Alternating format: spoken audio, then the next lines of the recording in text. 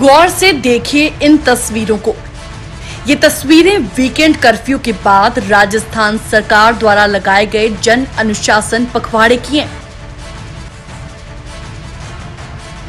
वाह क्या पखवाड़ा है और क्या उसका अनुशासन है बाज़ार पूरे बंद हैं, लेकिन सड़कों पर रेलम पेल ऐसी कि लग ही नहीं रहा बाज़ार ठप पड़े हों। ये तस्वीर कोटा शहर की है जहाँ रोज़ाना इन दिनों कोरोना के मरीज़ रिकॉर्ड तोड़ रहे हैं। यहाँ तक कि कोटा में कोरोना मरीजों की मौत का सिलसिला भी बदस्तूर जारी है। सरकार ने वीकेंड कर्फ्यू लगाया तो बाजारों में सन्नाटा रहा। लेकिन जैसे ही कर्फ्यू को जन अनुशासन में तब्दील किया गया तो तस्वीरें इस तरीके से सामने आईं।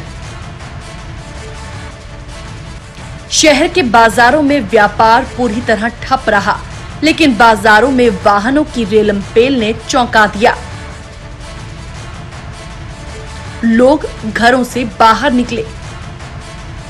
कोई ज़रूरत पर घर से बाहर निकला तो कोई बगैर ज़रूरत भी बाज़ार में तफरी मारने निकल गया। ऐसे में आम दिनों में शहर के छावनी सर्कल पर दिखने वाली ये तस्वीरें आज भी वैसी ही नज़र आईं।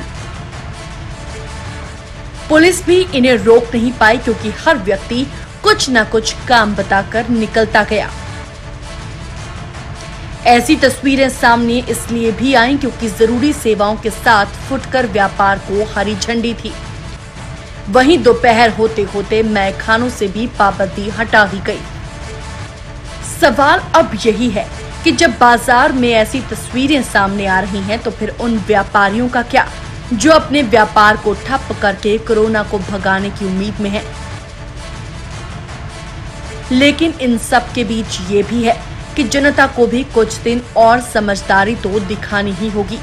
सरकार और प्रशासन भी जनता से यही उम्मीद कर रहे हैं ताकि कोरोना से बिगड़ती चली जा रही स्थितियों पर काबू पाया जा सके।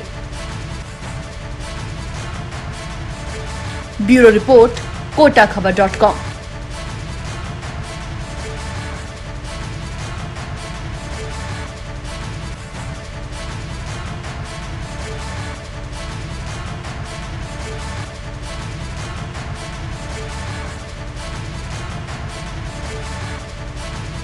कोटा की खबरों से अपडेट रहने के लिए YouTube पर सब्सक्राइब करें कोटा खबर डॉट कॉम और हाँ बेल आइकन दबाना ना भूलें।